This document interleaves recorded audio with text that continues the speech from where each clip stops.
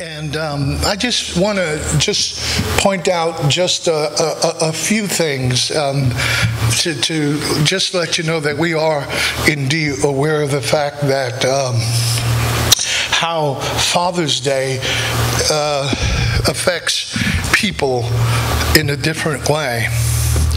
You may have been blessed with an amazing dad who showed you love in too many ways to count. Perhaps you had a dad that was often aloof, absent, abusive, or you never even got to meet him.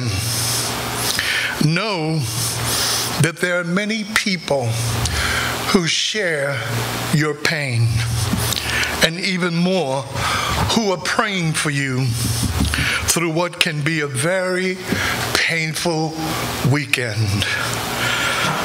Pray for them, forgive them. Now, forgiveness does not make what they did okay, but it makes you okay. Think of the people who were like a dad to you, and thank God for them. And if you lost your dad recently, know that we are praying for you.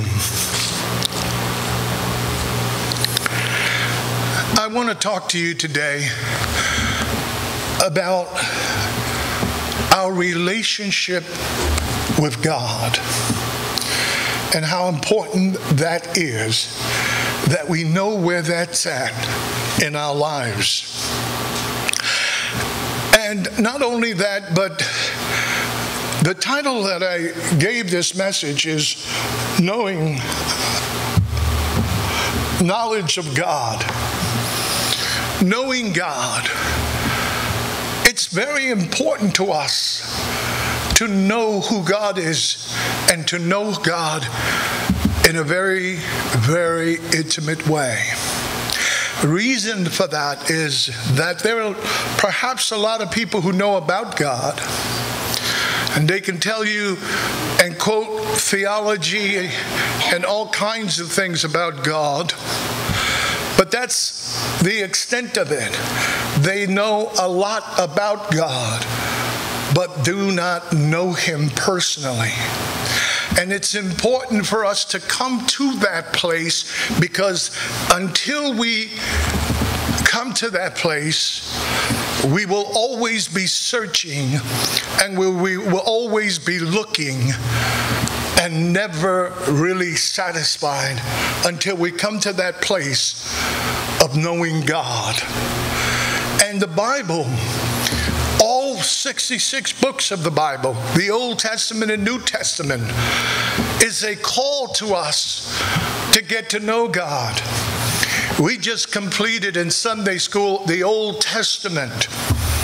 We went through the last three books of the Old Testament, ending in the book of Malachi.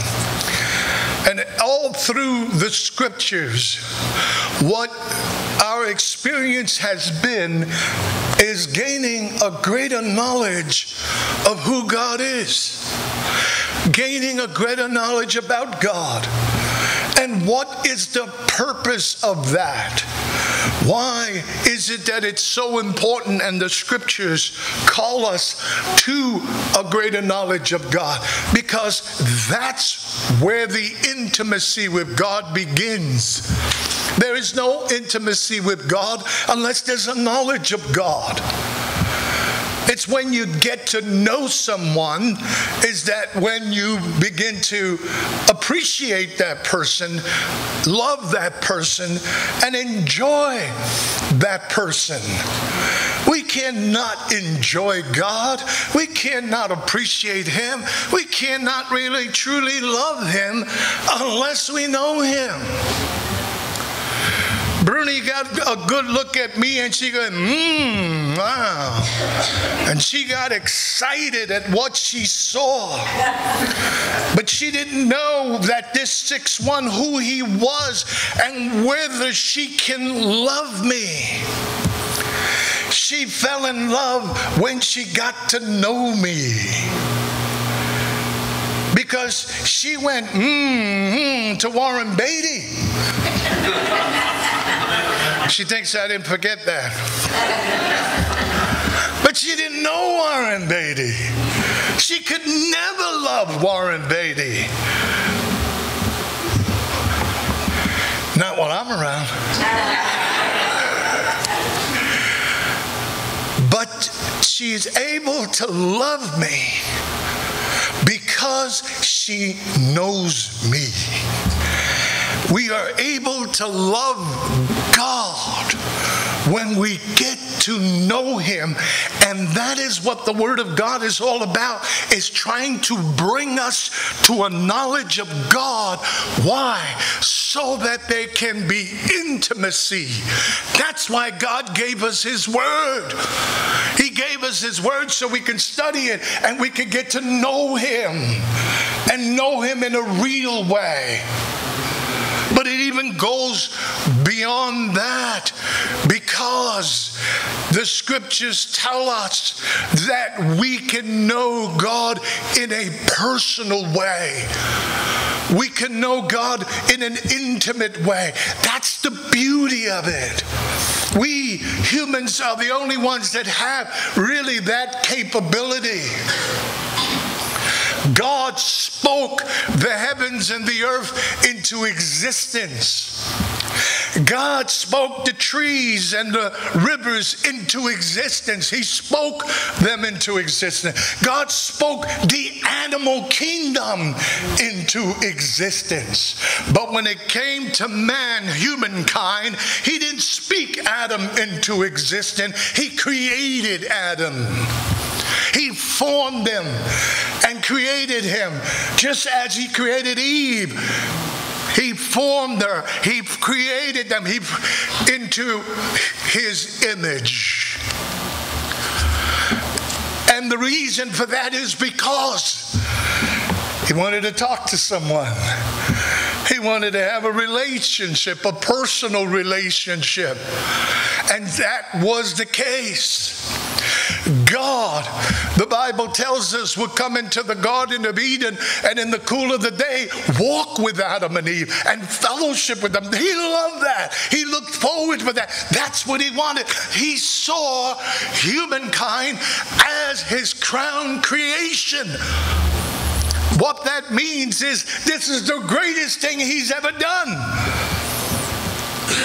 And he fell in love and still loves. And even when man rebelled and sinned and was separated from God, kicked out of the Garden of Eden, God did not give up on man. He did not give up on us. He sought after us. And that's what you find in the Old Testament a God seeking after us, a God looking for that relationship once again, looking for that intimacy. He tells Moses to build a tabernacle. Why? So that he can come and dwell in that tabernacle and be with them and travel with them and experience them, and they can experience him.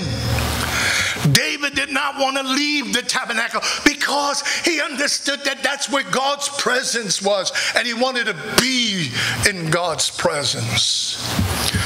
But more than David wanting to be in God's presence and more than we wanting to be in God's presence, God wanted to be in our presence. Can you imagine that? God Almighty is seeking intimacy, is seeking that personal relationship with us. And that's what I want to talk to you about today. The story is told of a king who was in his throne. He was in the room where his throne is, and he's there holding a council with his advisors and noblemen and minister statesmen. Suddenly, there was a bang and a clatter at the door of the throne room. And all the eyes were turned to the doors and the noise. And a little boy comes busting into the throne room and running in. And one of the guardsmen tried to stop him and said, Hey, lad, you need to stop there. You can't come into the king's room like this. And the little boy looked back, laughing at him, and says, He may be your king, but he's my father.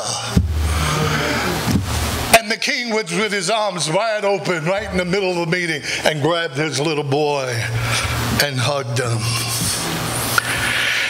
Child of a king is always outranks any nobleman, advisor, minister, statement, any dignitary. A child of a king outranks them all. Are you hearing me, folks? And that is the position that we have with God. And this is what the scriptures and Jesus is trying to teach us.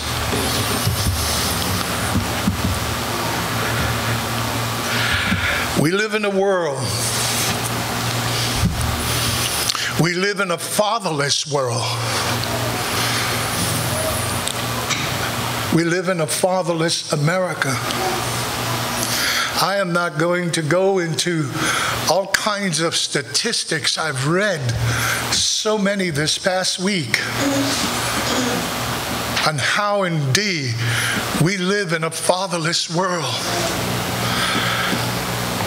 And in my readings, I found that there are people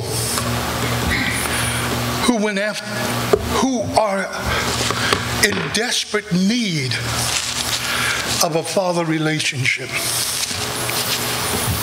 The world is in desperate need. There is a search for father. There is a search for that. And, you know, I, I, don't have the time to, to unwrap this the way I would love to, but I have to just give it to you uh, uh, uh, in, in, in almost a nutshell. Because that's what it is when we consider the whole scriptures and the Word of God. But all through the Old Testament, that is what the teaching is. It's the teaching of God who wants to be a father to his children. Also, we have the New Testament and we have a Jesus who speaks of the Heavenly Father and speaks of a relationship. It was almost as if Christ came into the world to show us that, hey, you could have a relationship with God that is intimate, that is personal, that is as a child and a father. That's what Jesus was teaching. Now, I know in the last few decades, people have had a hard time with that. Modern thinking, modern uh, scholars, and others are saying, you know, uh, um, you know, let's get rid of the word father and all that. Matter of fact, if they can get rid of Father's Day, they would. It's here and it hasn't gone away.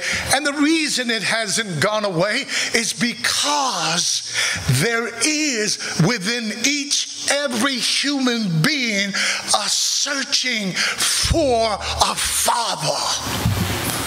There is that searching for that kind of relationship, that kind of intimacy that the scriptures describe to us. And so Jesus comes and introduces it and introduces that relationship. Even it got to a certain point that when they, the, the time with the disciples was almost over, one of the disciples said to Jesus, We are very much impressed with you.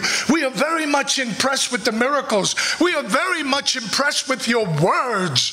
But you know what? You know, you have put within us, or at least you have stirred within us, a desire to know the Father. the one you pray to, the one you talk to, the one you do everything He asks you to do. We want to see Him. Please show us the Father.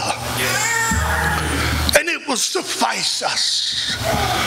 And we'll be okay.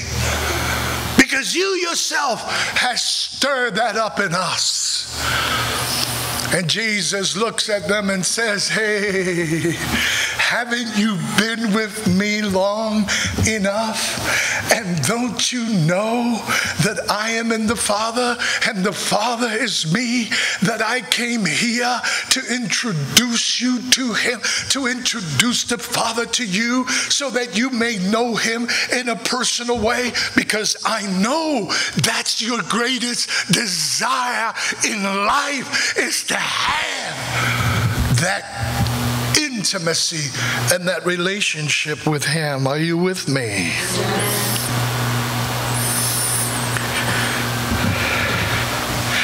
If it was classified as a disease, fatherlessness,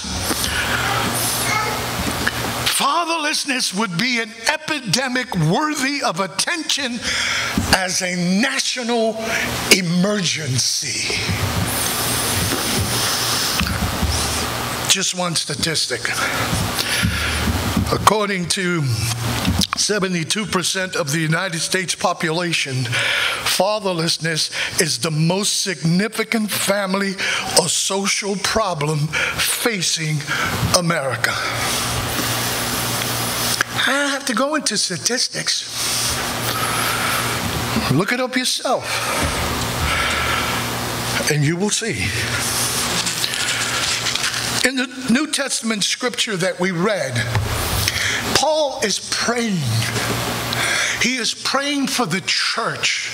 And I don't think he was just praying for the church of Ephesus, but he was praying for Meadow Hill. He was praying for the church today. And here's part of his prayer. He says, I pray that the God of our Lord Jesus Christ, the Father of glory, may give you a spirit of wisdom and revelation as you come to know Him. And in a paraphrase translation, it says, as you come to know Him personally. So, what is Paul's prayer? His prayer is that God, the Lord Jesus, the Father of glory, may give them a spirit of wisdom what is he saying with that? Again, I don't have the time to give you the whole exegesis and, and, and, and interpretation of that. But basically, what he is saying is that he prays that the Holy Spirit, the Holy Spirit that dwells in us, will give us a revelation of who God is that the Spirit of wisdom, the Holy Spirit, he's speaking of the Holy Spirit, will help us to come to that knowledge, to come to a revelation and know God. And know God in an intimate way. That comes by way of the Holy Spirit. That comes by the Holy Spirit dwelling in us. Jesus said that it's the power of God that will help us become children of God. Listen carefully to me. Some of you might be offended by what I'm going to say. Not all humans are children of God. We are all creations of God. But you become a child of God, the scriptures tell us in John, the first chapter. When you believe in Christ, you become a child of God. And Paul the Apostle unwraps that for us and says that it is only through the Spirit of God that our soul and our spirit can cry, Abba, Daddy, Father. And that comes by the power of the Holy Spirit in us. And look what he says. He says that he will give us the spirit of wisdom and revelation as you come to know him. Know him in a personal way and get to know the power of becoming a son and a daughter of God. This is called intimacy. The word knowledge, to have a knowledge of God, that word knowledge in the Greek is epignosis. And epignosis, what it means is that they would know the deep things of God.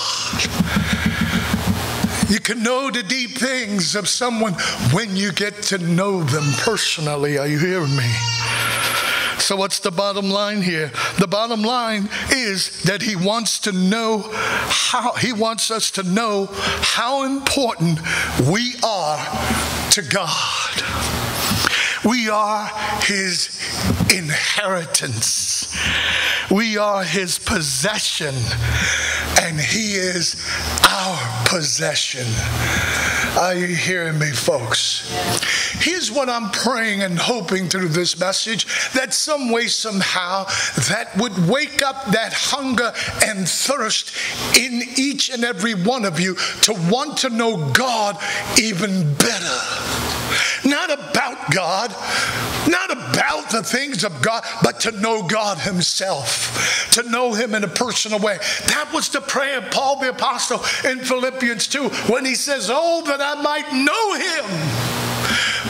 That I might know Him about an intimacy. He's talking about a closer walk. He's talking about something that goes beyond religion and beyond just coming to church every Sunday. But having an intimacy, a relationship with God, that it's an ongoing thing. The psalmist said, My soul thirsts for God, but it thirsts for the living God. What are you talking about? He's talking about a living experience. He's talking about not a one night stand, not a one night experience or one Sunday experience where the hairs in your arms stand up and you go, oh, wow, that was so cool.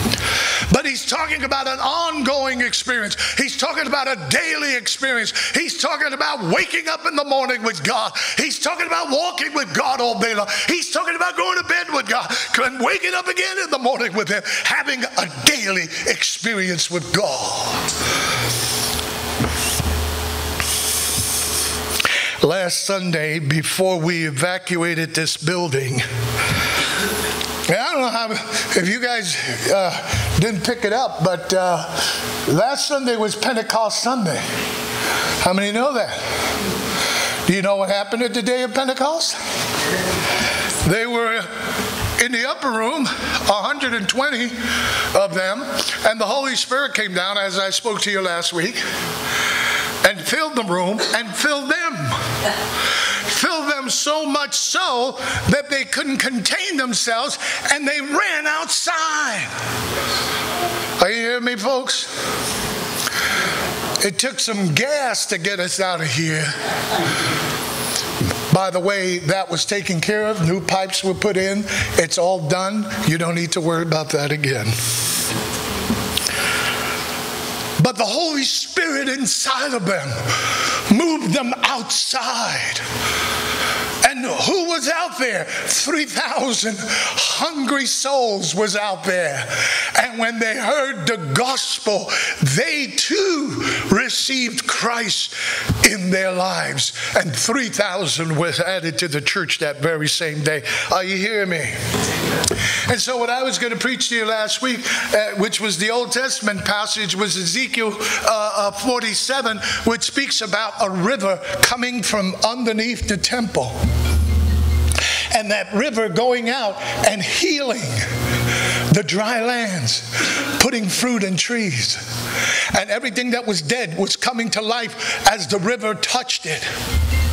And then the scriptures tell us that Ezekiel had a vision, and the vision he had was a river. And he walks into the river, and he's, his ankles are covered with the river. And then he walks even more into the river, and his knees are covered. And then he keep, continues to walk into the river, and the river is up to his waist. And then he continued to walk into the river until the waters were over his head and he had to swim in it. Many of us have had an ankle experience, and that's all we've had. Many of us have gone a little deeper. We've had a knees experience. And some of us has even gone deeper. We've had a waist experience where you stop eating and start fasting and you know well anyway no no let me not go there but many of us are lacking the experience of Ezekiel of having those waters overrun him to the point where he is soaked and he has to swim through it.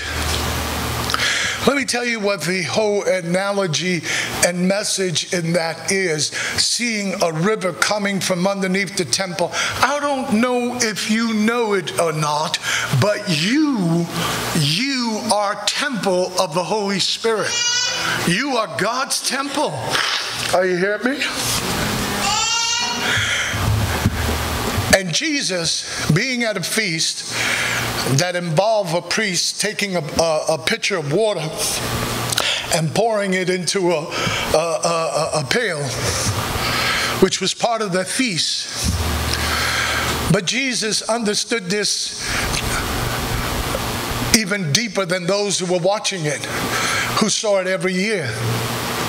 And as Jesus is sitting there, his chest is about to burst and he can't take it anymore because he knows what this is all about. Because every single feast in the Old Testament, every festival, every every the Passover, everything speaks of Jesus. The sacrifice speak of Jesus. And so now Jesus is watching this festival, and all of a sudden he jumps up to his feet this is in the Bible. John chapter 7, verse 37 to 38. He jumps to his feet and say, Whoa! Everyone who thirsts, everyone who thirsts, let them come to me. And out of their innermost being, out of their belly, out of the innermost parts of them shall flow rivers of living water. You're not listening to me.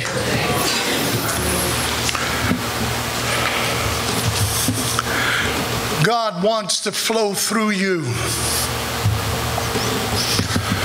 Let Him fill you with His Holy Spirit.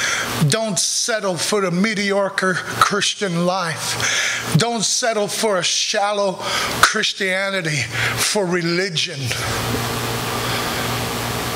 I was going to say something, oh, and that would offend a lot of people here and in the audience out there. But religion stinks. Religion stinks.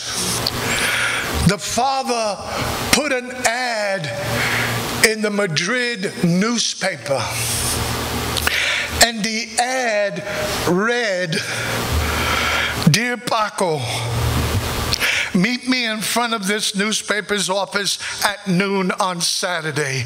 All is forgiven. I love you, your father. On Saturday, 800 Pacos showed up looking for forgiveness and love from their father. Today, in many a church, the sermon of the prodigal son is being preached. And we know that story, we know it so well. Did you know that that is the greatest short story ever written in history? That not Shakespeare, Plato, nobody has ever written a short story that can come close to the prodigal son. Nobody has ever told a great story. It's the greatest short story ever told. The son leaves home, squanders his dad's money and then comes to his senses and says, I need to go back to my father's house. In my father's house, the servants have a better relationship with him. They eat well, he cares for them. I'm going to go home. And I don't think my father is going to accept me because I rejected him.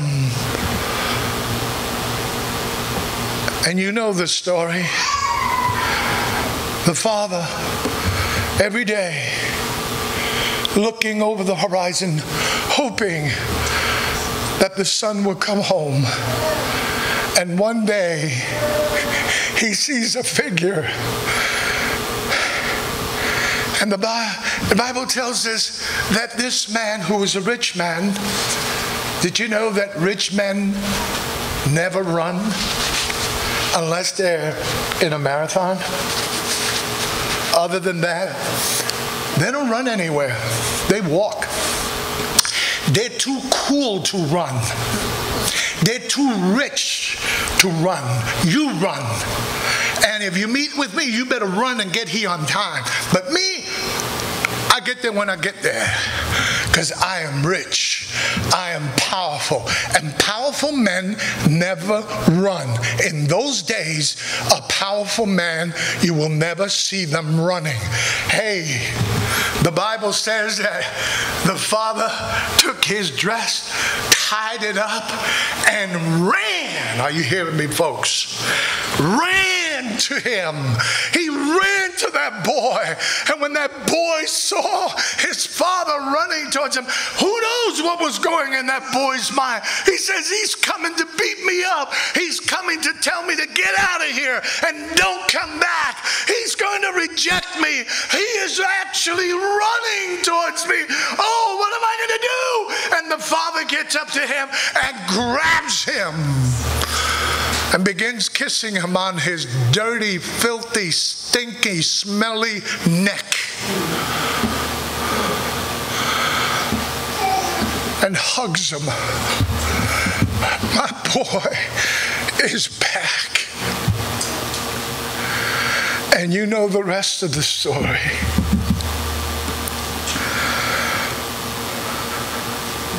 But this story is not just about a prodigal son who left the home. Or the story of a father's love.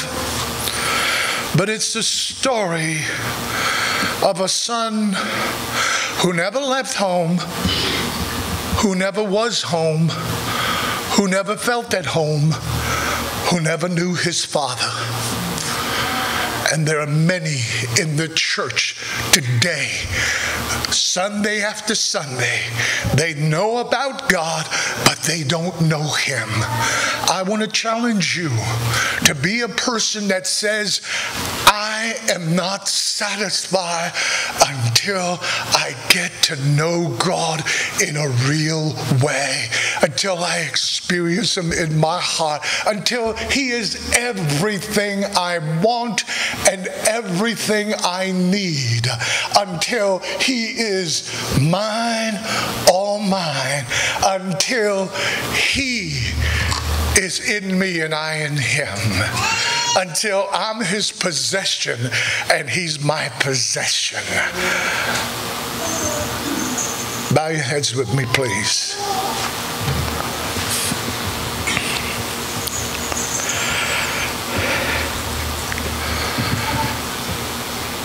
You say, How can this be? How can I have this experience? Surrender all to Jesus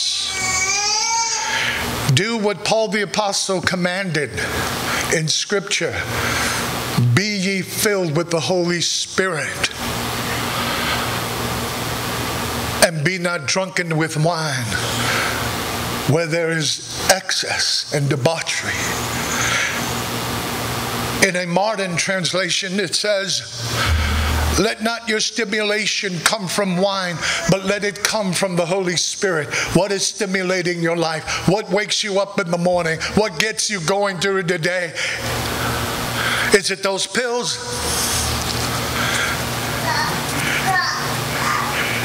Does your life only run on Dunkin' Donuts? Or is it the Holy Spirit that stimulates you to go on and to live and to live for God and to allow that river to flow through you and touch others? Oh, I pray that that is our experience. I pray that we will be a people that are not just satisfied with just going to church, singing a few songs, and going home and thinking that we have got won God's favor.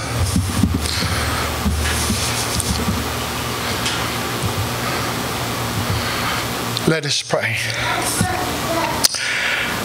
Lord,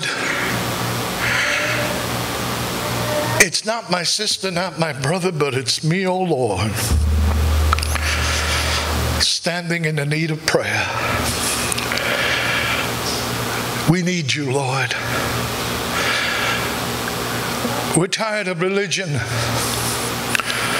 We want a relationship.